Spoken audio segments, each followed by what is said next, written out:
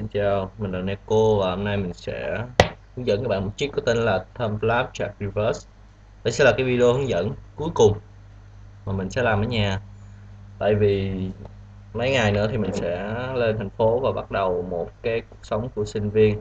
Cho nên là mình sẽ không còn cái cơ hội mà ngồi ở cái bàn này, à, cái góc này cái cái ngồi trước cái máy quay như thế này để mà làm hướng dẫn cho các bạn nhiều nữa.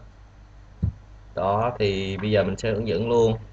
Đầu tiên để làm được cái chiếc này thì các bạn cần phải làm được nail sonic.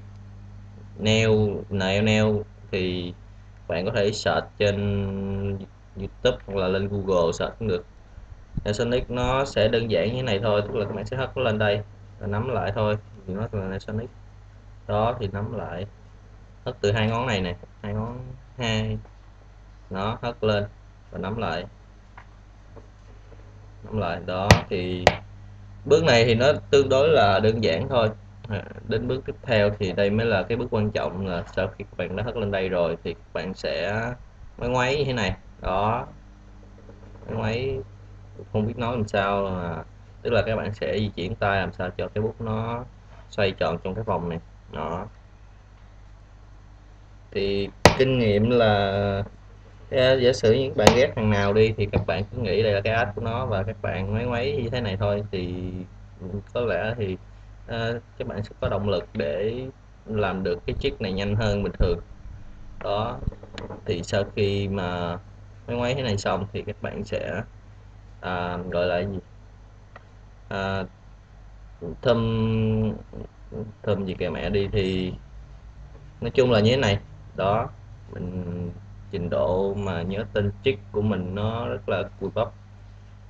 Đó thì sau khi các bạn lấy xong thì nó các bạn sẽ thực hiện cái chiếc chiếc này các bạn à, chung là các bạn copy đi.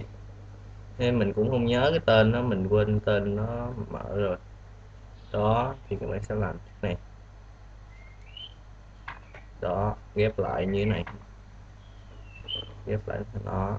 Thì đây là cái gọi là cái chiếc nó rất là cơ bản. Hầu như cái combo nào mình cũng thấy cái chiếc này nằm ở trong nó.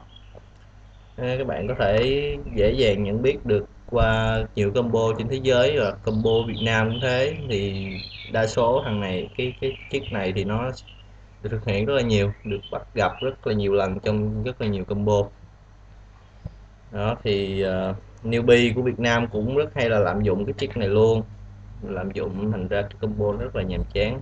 Mình khuyên các bạn là nếu mà có sử dụng cái chiếc này thì chỉ nên sử dụng một lần một lần hai lần thôi. Nếu cần thiết thì có thể um, như là biến đổi nó thành một cái gì đó mới mới lạ hơn bình thường. Như vậy sẽ không có gây cái sự nhàm chán cho người xem. Vì xem thấy các bạn lấy máy thế này mãi thì cũng chán mình cũng chán. Đó thì đây sẽ là cái hướng dẫn cuối cùng. Nhớ nhé, đây sẽ là cái hướng dẫn cuối cùng mà mình sẽ làm ở góc này. Thì góc sau nếu mà có cụ bắp hay hơn hoặc là khó nghe hơn hoặc là như nào đó thì mong các bạn thông cảm. Cảm ơn các bạn đã xem video.